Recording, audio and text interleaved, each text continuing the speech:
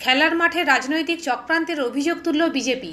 মাধ্যমিক পরীক্ষার অজুহাত দেখিয়ে তাদের ক্রিকেট ম্যাচ বাতিল করে দেওয়া হয়েছে বলে বিজেপির অভিযোগ। উল্লেখ্য, শনি ও রবিবার আরামবাগ হাই স্কুল মাঠে দিনরাতের ক্রিকেট ম্যাচের আয়োজন করেছিল বিজেপি। স্কুল কর্তৃপক্ষ নাকি প্রথমে অনুমতিও দিয়েছিল। পরে মাধ্যমিক পরীক্ষার জন্য ওই প্রতিযোগিতা বন্ধ রাখার নির্দেশ দেয়। বিজেপির অভিযোগ, তৃণমূল বক্স বাজিয়ে রক্তদান শিবির করছে। তখন সবাই ঘুমিয়ে রয়েছে। কিন্তু বিজেপি কিছু আয়োজন করলেই পরীক্ষার অজুহাত দেখানো হচ্ছে। তবে এই সিদ্ধান্ত বিজেপি মেনে নিয়েছে বলেও জানিয়েছে।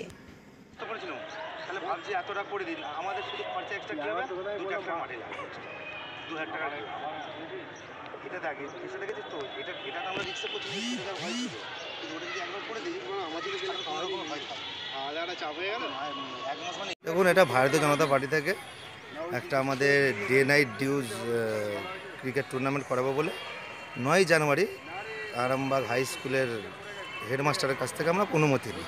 উনি অনুমতিও দেন। উনি বলেন যে ছাব্বিশ তারিখে এস এসডিও ম্যাডামের প্যারেড আছে। প্যারেড হয়ে যাওয়ার পর সাতাশ তারিখ থেকে তোমার মাঠটা নিয়ে নিয়ে কাজ করবে। যথারীতি সাতাশ তারিখ থেকে আমরা এই মাঠে কাজ করছিল যথারীতি সাতাশ তারিখ থেকে আমরা এই মাঠে কাজ লাগিয়েছিলাম, কিন্তু কোনো রকমভাবে কোনো অবজেকশন আসেনি। হঠাৎ করে দেখছি পনেরোই ফেব্রুয়ারি মানে খেলার সাত দিন আগে স্কুলের যিনি প্রেসিডেন্ট তিনি চিঠি করেন যে মাধ্যমিক পরীক্ষা থাকার জন্য এখানে খেলা করানো যাবে না ডিস্টার্ব হবে। অথচ আপনারা জানেন যে স্কুলে মাধ্যমিক পরীক্ষার সিট পড়ে না। প্লাস শনিবার আর রবিবার এটা খেলা। তো তার জন্য উনি এটা করে, এটা একটা ওনাদের তৃণমূলের একটা চক্রান্ত যাতে খেলাটা না বিজেপি করাচ্ছে বলে সামনে পৌর ভোট, তো ওনাদের পায়ের তলা এমনি মাটি নেই। যাতে আরও না থাকে সেই জন্য ওনারা খেলাটা করাতে দেন না।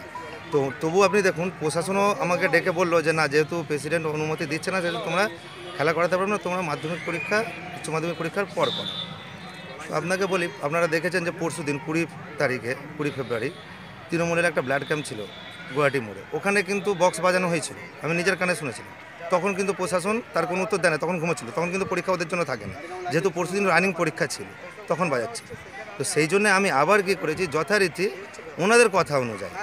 আমি ইয়ে আমাদের স্কুলের হেডমাস্টারকে আর স্কুলের প্রেসিডেন্টকে এবং থানার আইসিকে এবং এসডিও ম্যাডামকে আমি লিখিত দিয়ে দিয়েছি। যে আমাদের খেলা এই বাইশ তারিখে বা তেইশ তারিখে যে খেলাটা ছিল সেটা ক্যান্সেল করে আমরা আঠাশ ও উনত্রিশে মার্চ এই সাতাশে মার্চ মাধ্যমিক পরীক্ষা শেষ হচ্ছে উচ্চ মাধ্যমিক শেষ হচ্ছে আঠাশ আর উনত্রিশে মার্চ এই মাঠেই খেলাটা হবে। আর আপনাদের মিডিয়ার মাধ্যমে আমি যত আরামবাগবাসী আছে তাদেরকে আঠাশ ও উনত্রিশে মার্চ আমন্ত্রণ জানাই আমাদের খেলাতে আসার জন্য। কাদের পক্ষ থেকে করাচ্ছেন? ভারতীয় জনতা পার্টির পক্ষ আপনার নাম দাদা? সুমন্ত